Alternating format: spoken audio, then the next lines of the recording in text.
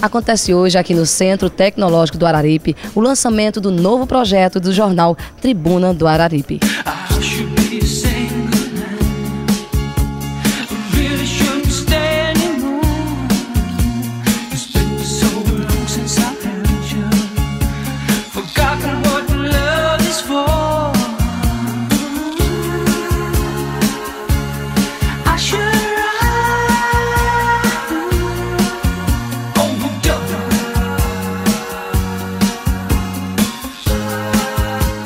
A expectativa foi atingida com certeza. A proposta que foi lançada, que a gente viesse com todos os sentidos aguçados, e aqui estive, estou ainda, né? E com certeza foram atingidas todas as expectativas.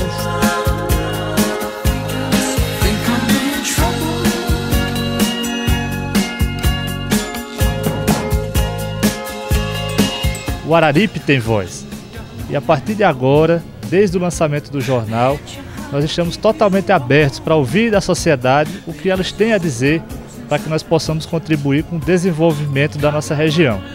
O jornal nasce com essa proposta e só irá se manter assim se a sociedade contribuir conosco, mandando sugestões, mandando críticas, mandando denúncias, para que nós possamos ouvir todos os lados da notícia. É um compromisso do jornal ouvir a todos, para que não haja em nenhum momento a falta de parcialidade dentro do jornal.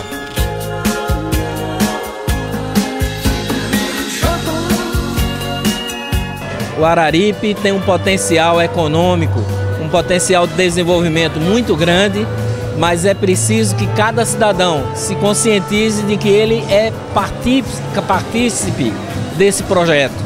E o jornal ele está a serviço dessa causa.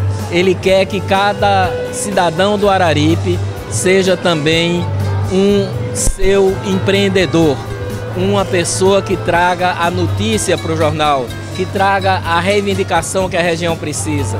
E eu acho que esse lançamento hoje foi absolutamente exitoso, é importante para a região e acho que só o tempo dirá o quanto hoje vai ficar como uma data significativa na história da comunicação de Araripina e de toda a região.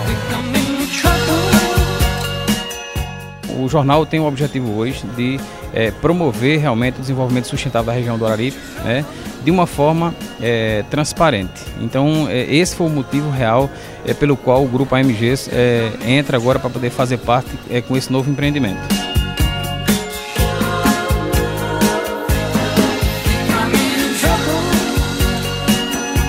Parabenizo os jornalistas que trabalham, que estão trabalhando na montagem desse, desse mais novo jornal, né, desse mais novo informativo aí, que está aí para o povo do Araripe como um todo.